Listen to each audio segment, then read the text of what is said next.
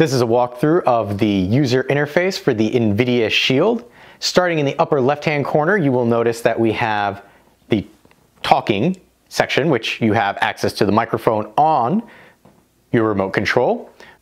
You can access the voice feature anywhere by using the remote. However, there is a dedicated button should you just want to highlight it and press OK. Evil Dead. Here we go. My customary search. I can also do back Star Wars. And it brings up lots of things for us to look at. Now, the other way that we can search is using a keyboard. I do not recommend this because you do have to hunt and peck. As I did mention before, if we hit the circle and go all the way back, you do have the voice command on the remote itself, which can be accessed from anywhere. So, Star Wars. No Star Wars, all right. That's an interesting search, but that is the dedicated area in the upper left-hand corner for that. Going across, we have the sprocket, which is our settings and options. We'll come back to that a little later. And the current time, there is no date. The first line that you have right here are our apps or channels. Uh, by default, it's in this carousel style. Uh, you'll notice that when you highlight one of the channels, it kind of brings it forward. However, you'll notice with Pluto, and Plex. It's a little difficult to notice when it pulls it forward to make it a little bigger. I wish that they did do an outline of some sort around the channel just to make it a little better, a little easier to know what you're on. Because if you happen to leave it on Pluto and forget, you might not know that it's actually selected. You gotta hunt around. Also, I will state, as this was my first Android TV box, I was surprised to see that they actually had a supported Twitch channel because I know on Roku they got rid of that and I had to try and use a Amazon Fire Stick if I wanted to watch Twitch. Now, if we were to come over and select one of our channels by long pressing on the circle in the center of the remote, this will bring up our options. We can open, move, or remove from favorites. That's what this carousel up here is. This is our favorites. Clicking back on our remote, we're not going to do any of that because we're going to scroll all the way over here to the right. So if we wanted to add a channel, we can come here to the plus sign, click on that. We've got some predefined channels for us or select back, go all the way to the right, highlight our apps, select this, and then it will show us all of our apps.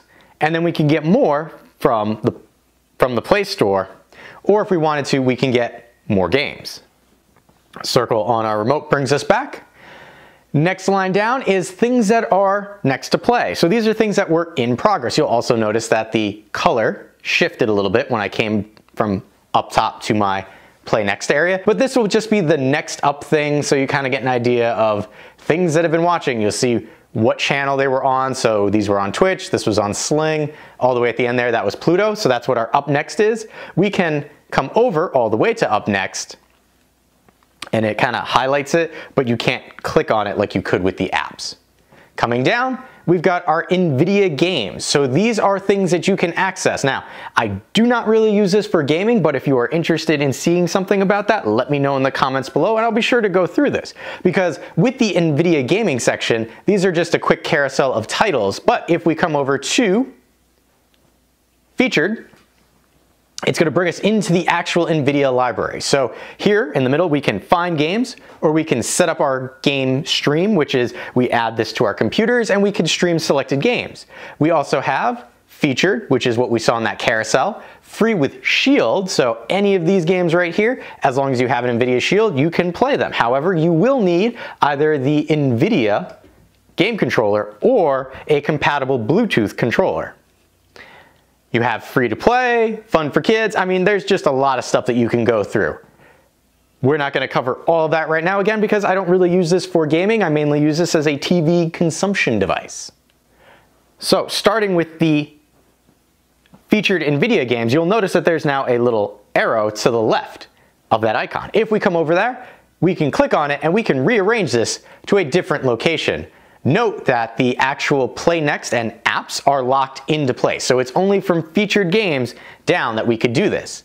Next we have Netflix recommendation because I have an attached Netflix account here. This is uh, for family, so if the last person that's watching Netflix, their recommendations will show up here. So if you've got family, wife, you, whoever watched it last, their recommendations will show up here. If you want to change that, you can always just come here and switch the profile. Likewise for recommended for YouTube. I started watching some weird music video stuff when I was trying to get work done the other day, and those are coming up under my recommendations. So don't judge me. I needed something to get me through the workday. Coming down, you have trending, which again will just be trending on YouTube. Featured by Google Play. I do appreciate that unlike Amazon, your Android TV box actually puts these further down than having them right up top like the Amazon box did. So good on you for that. Coming down, recommended for you by Disney. Again, this is based on the last account that accessed Disney Plus. Featured channels, so here we go, it's showing Pluto. So these are being pulled from the channels that I'm actually interacting with the most using my NVIDIA Shield. Recommended music, again, uh, this would be based on listening history. I don't really use this for listening uh, so it's not really gonna be great recommendations for me. Again, Sling TV, because that's something that I've started watching now with that free, uh, you know, shelter in place that we have going on.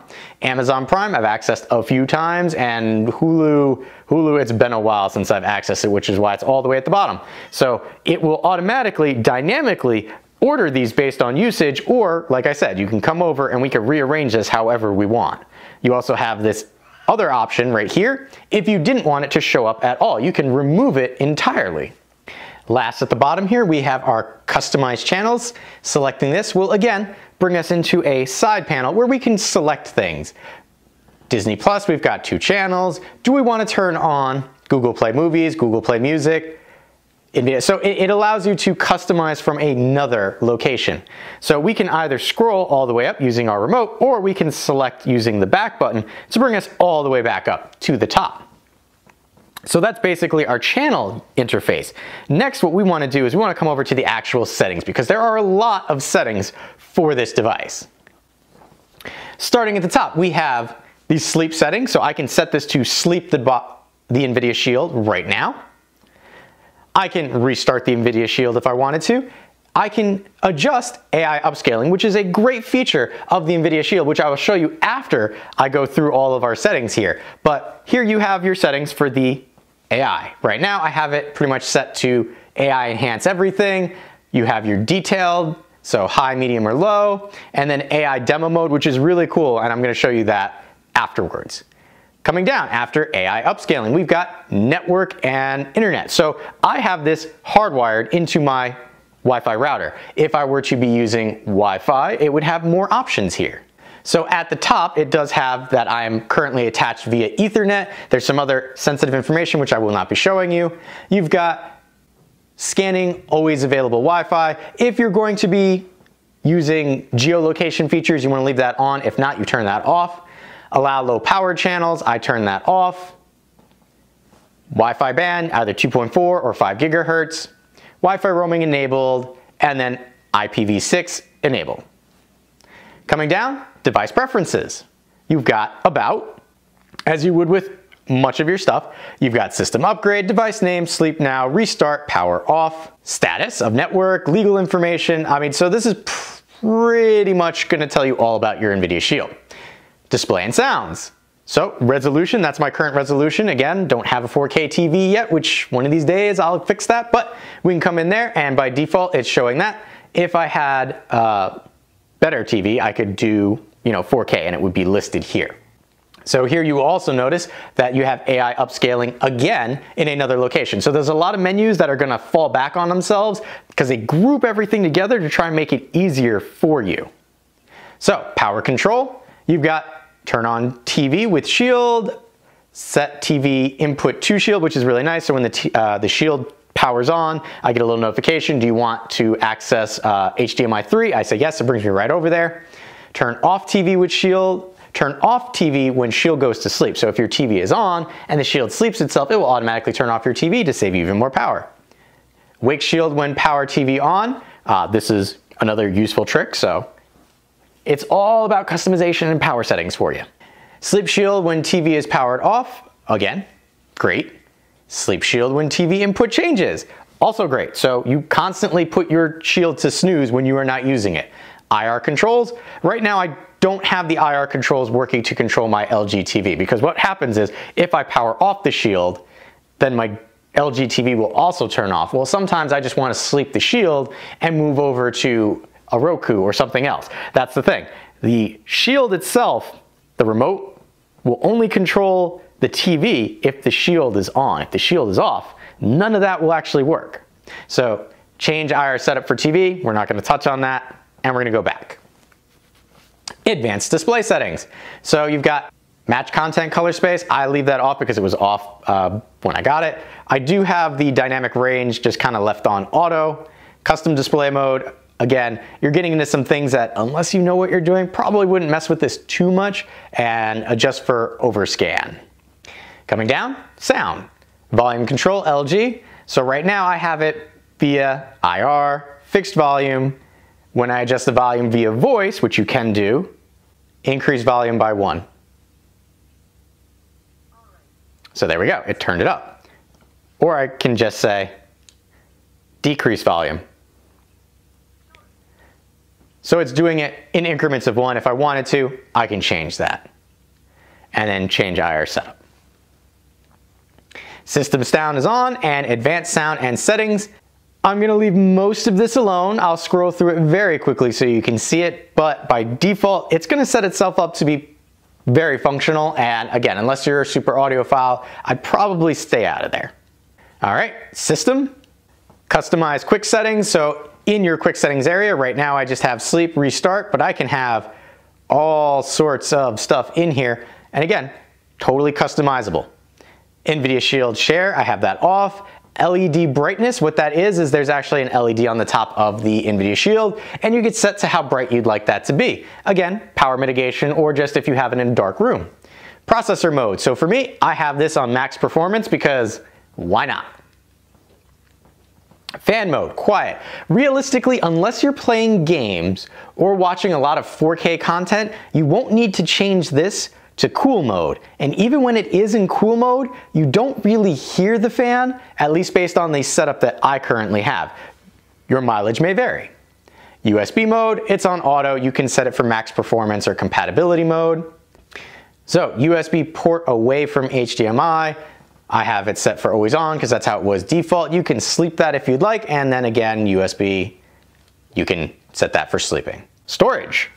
So by default, the NVIDIA Shield has 12 gigs of onboard storage. You can select to transfer files to a computer using USB. You can transfer files over the local network. You can mount network storage to the NVIDIA Shield. So if you've got something like a Drobo, uh, which is a network attached storage device that I have, you could set it up so that your Shield can access it remotely. Home screen.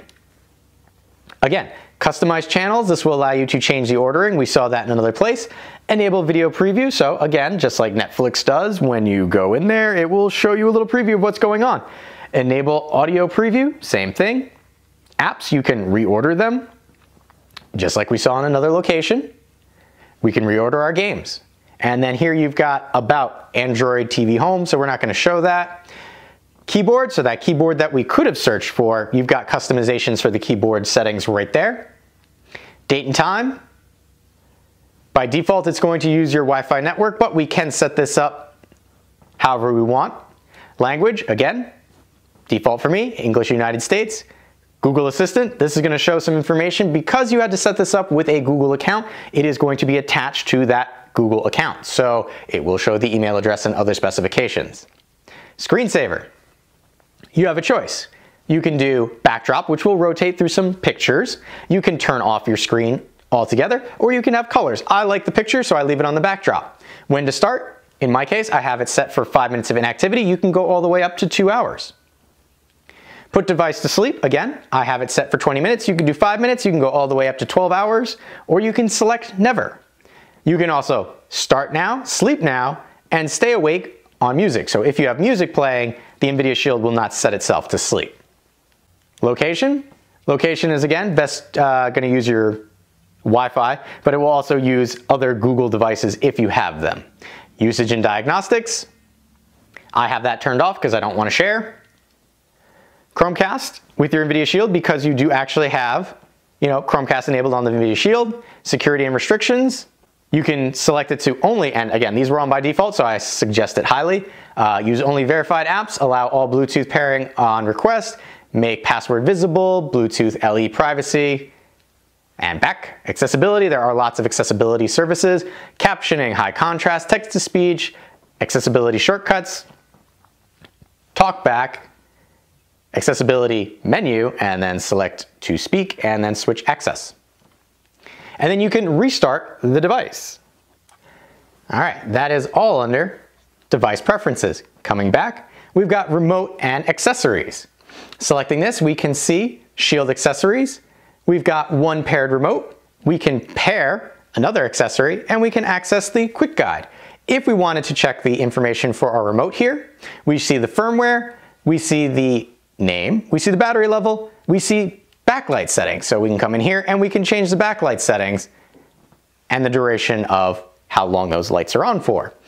And we can des designate whether it's on push button or if you pick up the remote. So very informative. It also has a find remote feature. So that beeping you hear right now is coming from the remote itself and then you can forget this accessory. My one thing with the find the remote is if you cannot access your shield, then you can't select the find remote feature. And I have tried accessing this through the Google Assistant with no avail. Backing up, we're gonna come down to customize menu bar. So that button in the upper right hand corner of your screen, right now I have the AI upscaling demo set up for it, if you wanted to, you could change that button to do something else. Coming down, add a Bluetooth accessory, disconnect a Bluetooth accessory. Apps, selecting that, will show you the apps and information about each that you have. Accounts, right now I have two accounts. I have my Google account and I have my NVIDIA Shield account that I created. Now, as promised, what we're going to do is we're going to show you what the AI upscaling looks like and why you should really consider getting this just for the AI upscaling.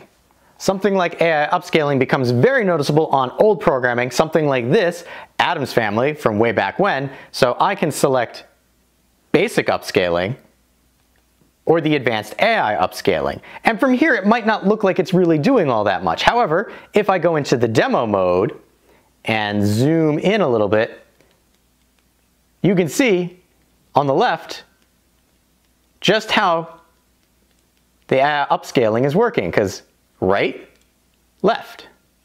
So the left side of the screen is going to be no AI and then AI. So you can definitely see that the AI upscaling is well worth checking out the Android TV box for, if for just that. But this has been probably a little longer than you expected walkthrough of the user interface for the NVIDIA Shield.